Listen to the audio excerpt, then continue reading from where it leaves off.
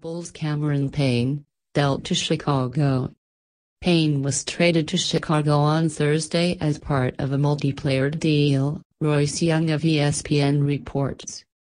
Anthony Morrow and Joffrey Lauvergne will join Payne in Chicago, while the Bulls send the Thunder a package including Taj Gibson, Doug McDermott and a 2018 second-round pick. A lottery selection in 2015, Payne showed promise as a rookie but has struggled this season since returning from a broken foot.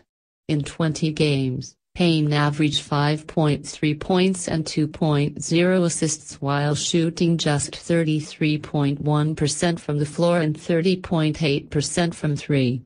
Still, Chicago views Payne as having higher upside than its current crop of underwhelming point guards and it's likely Payne will step into a more significant role with his new team.